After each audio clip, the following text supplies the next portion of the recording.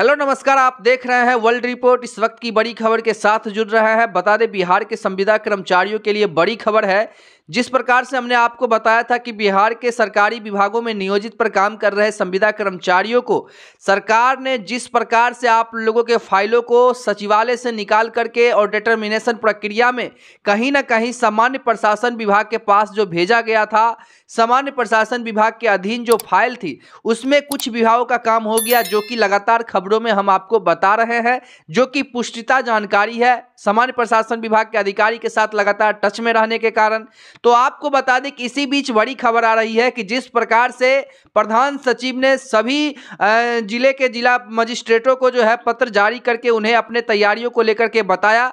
उसी प्रकार से आपको बता दें कि उसी बीच आमिर सुबहानी साहब जो प्रधान सचिव हैं, उन्होंने इस्तीफा दे दिया और कहीं ना कहीं इसका थोड़ा सा प्रभाव थोड़ा सा इम्पैक्ट आप लोगों के कागज़ पर, यानी कि आप लोगों के फाइलों पर पढ़ने को देखा गया है, जिसका अभी पूर्ण हो गया था। आपको बता दें, अगर वो फ़ाइल वही समीक्षा के लिए रहती तो उसे कार्मिक विभाग प्रधान सचिव, सीएमओ से प्रस्तावित करवा के उसको जो है कार्मिक विभाग भेजा जाता, वहाँ से उसको वित्त विभाग भेजा जाता, वित्त विभाग से फिर उसे कैबिनेट में भेजा जाता। लेकिन इसी बीच उन्होंने जो इस्तीफा दे दिया तो कहीं ना कहीं दो चार दिन, पाँच दिन, आठे दिन के लिए आप लोगों का फ़ाइल रुका। लेकिन रुकना तो रुकना ही होता है, क्योंकि चुनाव नज़दीक आ रही है और सरकार कहीं अपने वादों से फिर नहीं जाए। इसको लेकर के जो तैयारियाँ चल रही है, विभागीय स्तर से, वो भी बहुत तेज़ी से चल रही है। और आपको बता दें किसी बीच एक बड़ी खबर जो आया है, कल की खबर हम आपको बताते हैं कि हमें बहुत सारे ईमेल्स और मैसेजेस आए। इस बात को लेकर के कि सर, आज कैबिनेट है क्या? हम तो शौक हो गए कि हमें पता नहीं है आज कैबिनेट है और कहाँ से ये जानकारी लीक हो गई। तो हमें पता चला कि बड़े बड़े जो चैनल हैं, जो संविदा कर्मचारियों के क्षेत्र में कहते हैं सर्वश्रेष्ठ चैनल हैं, उन्होंने इस बात की रूमर फैलाई है और आपको बता दें कि बड़े बड़े चैनल एक प्रतिष्ठित चैनल होते हैं, लोग कहीं ना कहीं उन पर विश्वास करता है और आप उनके विश्वास के साथ खिलवाड़ कर रहे हैं। ये आपको अपने आप में, अपने आप में आपको शर्म आना चाहिए कि जिस तरह से आप कर रहे हैं, वो बहुत ही गलत और गलत गलत इम्पैक्ट पड़ रहा है। अगर आपके पास जानकारी नहीं हो तो जानकारी आप लिया कीजिए लेकिन सामान्य सामान्य प्रशासन विभाग के जो अधीन जो अधिकारी हैं, उनसे हमने इस बात के बारे में चर्चा किया कि कल कैबिनेट, आज कैबिनेट है क्या, सर?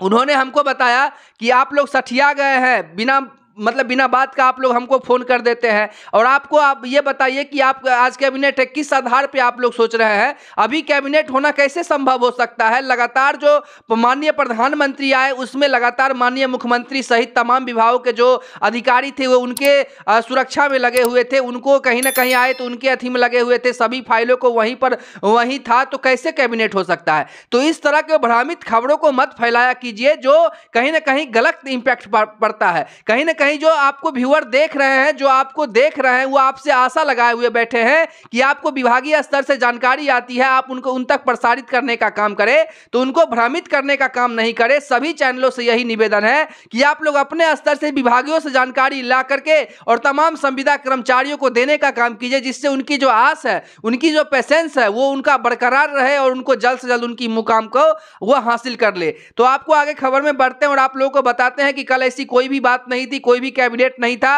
और अभी तक, अभी अभी आप लोगों के कैबिनेट से कोई भी आप लोगों का फ़ाइल कुछ नहीं होने वाला है। आपको हम जानकारी दे रहे हैं, कल कैबिनेट जो है उत्तर प्रदेश में था, जहाँ पर तमाम उनतीस एजेंडों पर मुहर लगा था। लेकिन बिहार में कोई भी कैबिनेट कल नहीं थी और ना ही आप लोगों के लिए कोई भी राशि की स्वीकृति अभी हुई है। इसीलिए बता रहे हैं कि जब तक माननीय मुख्यमंत्री महोदय उस सैलरी स्ट्रक्चर पर आप लोगों के जो मानदेय नया निर्धारित किया गया है कमिटी का, वो जब तक फ़ाइल सीएमओ में नहीं जाएगा वहाँ पर मुख्यमंत्री महोदय का सिग्नेचर नहीं होगा, उसको वित्त वित्त विभाग नहीं भेजा जाएगा, जो फाइनेंशियल कंडीशन देखा जाता है। तब तक आप लोगों के लिए राशि कैसे आवंटित हो जाएगी? तो तमाम जो जानकारी है, वो विभाग से जुड़ी हुई हम आपको देते हैं, लेकिन बहुत सारे ऐसे संविदा कर्मचारी भी हैं, जिनको सिर्फ़ बड़गलाने वाला डाइवर्ट करने वाला खबरों में ज़्यादा विश्वास रहता है। इसीलिए आप लोगों की गलती है कि आप लोग कहीं ना कहीं वैसे चैनलों को सपोर्ट करते हैं तो आप लोगों के हितों के साथ वो लोग खेलने का काम करते हैं। लेकिन हम आपको बता दें कि कैबिनेट से अभी आप लोगों का कुछ भी नहीं होने वाला है, क्योंकि आप लोगों की जो फ़ाइल है, वो कहीं ना कहीं दो तीन विभागों का और भ्रमण करेगी। जैसा कि आपको बताया कि सामान्य प्रशासन विभाग अपने स्तर से।